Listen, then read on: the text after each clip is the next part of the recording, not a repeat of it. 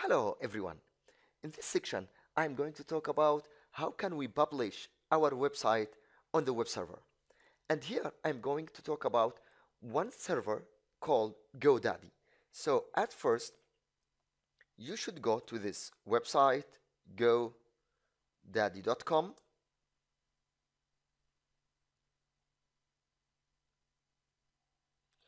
And inside this website, you should create an account.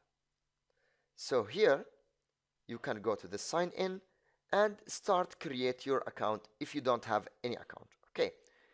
I'm already have account, but at first when you go to the GoDaddy, you have lot of services. One of those services is the hosting service. So you can take any one of those services like hosting and select web hosting. And as you can see here, you have either Linux plan for Linux server or Windows plan if you need a Windows server.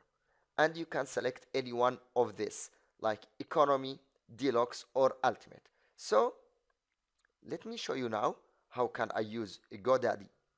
So sign in because I have already has account here and I'm going to access using my username and password.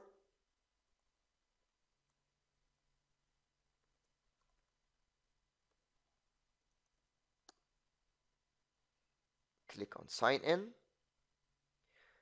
When you go to this website, we have a lot of options. One of those options is your domain, which is the name of your website, and another option is the web hosting, which has the control panel.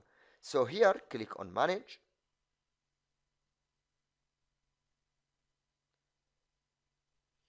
And now let's click on Plesk Admin. So we can go to the control panel, which has a lot of options like creating database, uploading your files, adding some SSL for security, and so on. Now here we have two options. One of them is the file manager, which is used to upload your files and the database to create online database. So for example, let's go to database.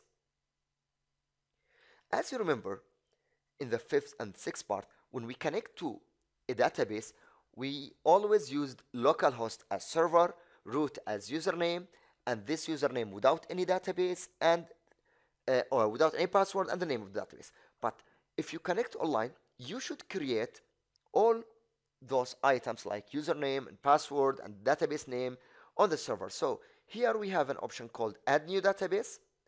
So when you go here for add new database, let's call this website, for example, online web. For example, I'm going to call this database as online web. Here you can select either MySQL or SQL Server. Here I'm going to use MySQL What's the username? Let's call this username as, for example, Yazan Web. And let's create a password like Yazan Web 2018. And here also Yazan Web 2018.